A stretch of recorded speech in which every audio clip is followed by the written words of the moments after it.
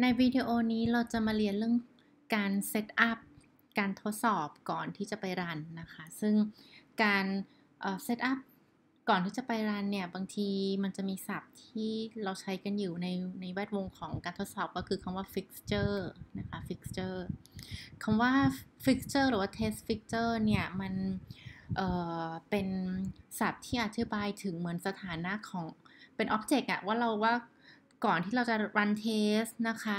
สถาเอ่อ object เหล่านี้จะต้องอยู่ในสถานะไหนนะคะ เช่น ก่อนที่เราจะ run calculator ก็ต้องสร้าง object มาก่อน จะต้องใส่ data อะไรเข้าไปก่อนหรือเปล่า ถ้าเกิดเราอยากจะหาค่าเฉลี่ยของนักเรียน เราก็ต้องสร้าง object ของ student ให้ครบถ้วนก่อนอะไรอย่างเงี้ยค่ะ อันนี้ก็จะเป็น concept ของ test fixture นะคะ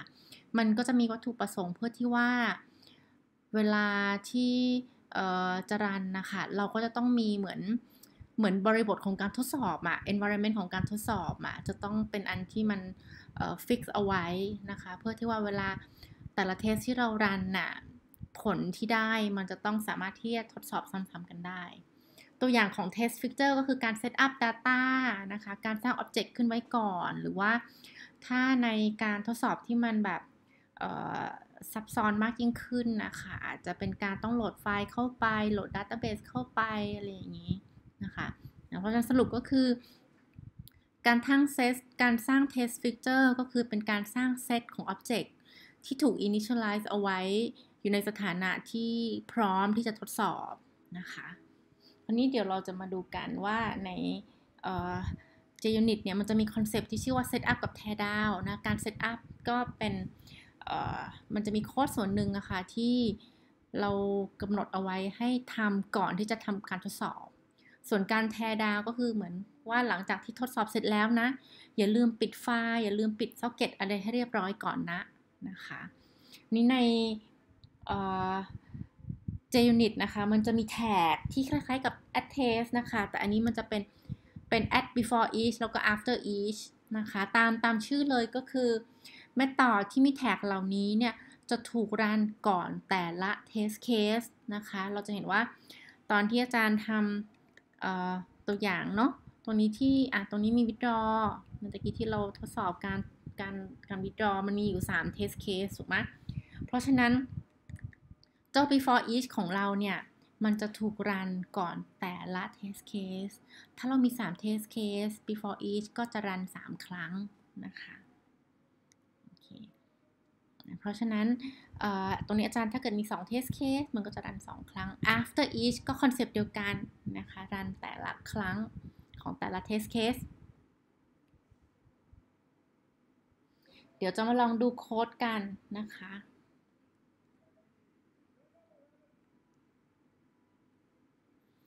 มาดูโค้ดโค้ดนี้เลยเนาะมาดูโค้ดนี้เลยดีกว่า จะเห็นว่าโค้ดการทดสอบ Bank Account เนี่ยมันจะเราจะต้องเซตอัพการ Bank Account ก่อนที่เราจะถอนเราทำเหมือนกันเลยก็คือเราเซตอัพ Bank Account ให้มี Initial Balance เท่ากับ 100 ตรงนี้ก็ 100 เหมือนกันตรงนี้ก็ 100 เหมือนกัน เพราะฉะนั้นโค้ดที่มันซ้ำๆกันแบบนี้เนี่ย เราสามารถที่จะย้ายมันเข้าไปอยู่ใน method before each ได้นะคะอย่างนี้เราจะมี มี tag before each นะคะ วอยอย่างตรงนี้เราอาจจะใช้ชื่อมาต่อชื่อ setup อะไรอย่างเงี้ยค่ะ setup แล้วก็เราอยากจะให้มันสร้างเหมือน bank account ให้เรา เพื่อที่ว่าเจ้า object เนี้ย object account เนี่ย มันจะได้ถูกใช้ในทุกๆ test case ได้นะคะตัวนี้ก็จริงก็จะ concept เดียวกับเวลาเราเขียนคลาสทั่วไปก็คือถ้าเราอยากจะให้ตัวแปรนี้ใช้ได้ในทุกๆ method อะ เราก็ต้องนำมันมาประกาศเอาไว้ข้างนอกแบบนี้นะคะแล้วตรงนี้บรรทัดนี้ก็จะไม่จำเป็นต้องมีละโค้ดมันก็จะ test case สั้นลงด้วย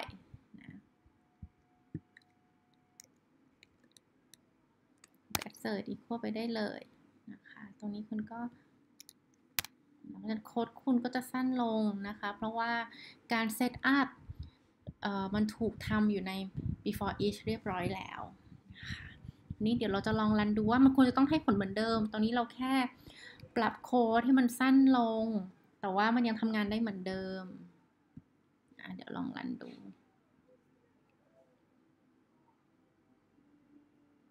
คิดทำงานถูกต้องนะคะ เอ๊ะแล้วเอ๊ะแล้วมันเหมือนเดิมไหมมันมันได้เข้ามาในเซตอัพหรือเปล่านะ เดี๋ยวเราจะมาลองพิมพ์เอาในนี้ดีกว่า out in before each นะคะลองให้มันปริ้นดู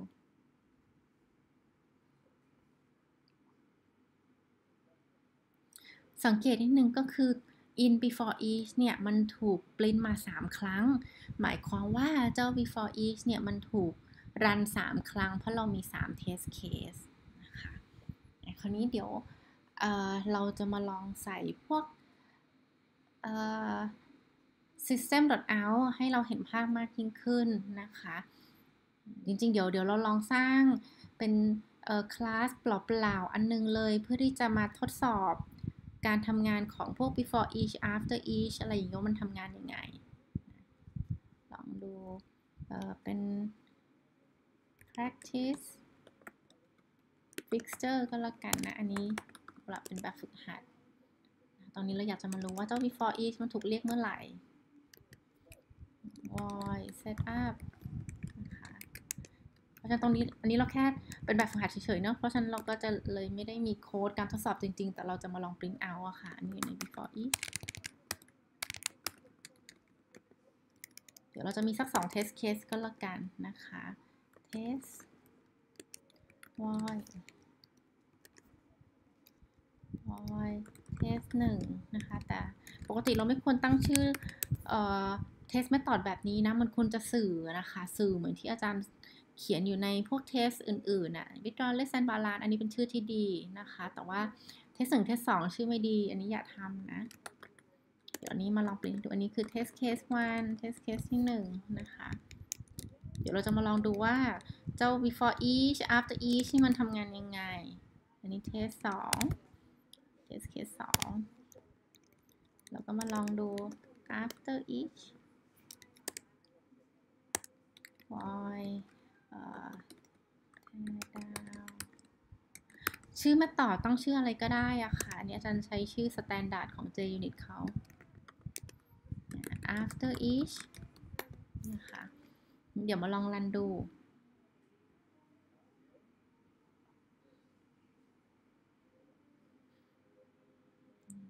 ตรงนี้จะเห็นว่า มันจะ run before each นะคะ ของ test case ที่ 1 เสร็จแล้วก็จะมาแล้วก็ after each ด้วยนะคะ แล้วก็ run before each ของ test case ที่2นะคะนี้จะก็พอเห็นภาพเนาะในตอนตะกี้อาจจะเห็นว่าตอนที่เราใส่ before each มันจะมีอีก option หนึ่งคือ before before all before all อันนี้ before all มันก็ตามชื่อเลยก็คือ มันเป็นการ setup แต่เป็นการ setup สำหรับ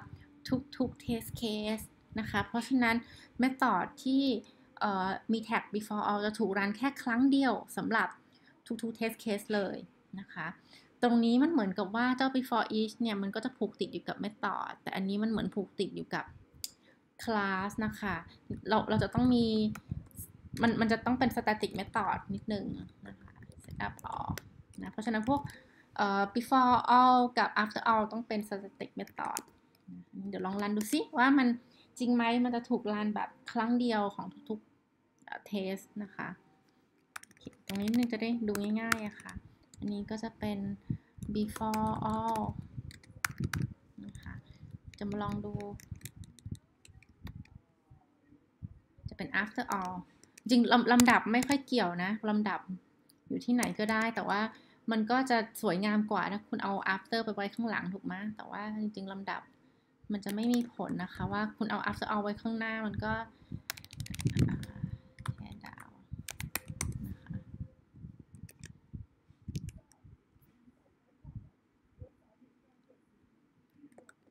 after ออกนี่เดี๋ยวเราจะมาลองรันดูว่ามันเป็นยังไง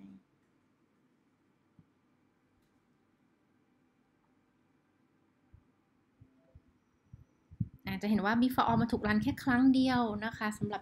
test เอ่อ test method test class 11 แต่ว่าเจ้า before each จะถูกรันก่อนแต่ละ test method นะคะเพราะฉะนั้นนี้เราก็สามารถที่จะเลือกใช้ before all before each after all after each ได้นะคะลำดับการเขียนโค้ดเนี่ยมันไม่สำคัญจะไว้ตรงไหนก็ได้นะคะ เวลารันเนี่ย เจ้าเจะยูนิตมันรู้เองว่าต้องรันอะไรก่อนหลัง แต่ว่า ก็ตามนั้นเนาะปกติเราเอา after all ไว้ข้างหลังมันจะได้แบบตรงกับลำดับการทำงานของมันเอาไว้ข้างหลัง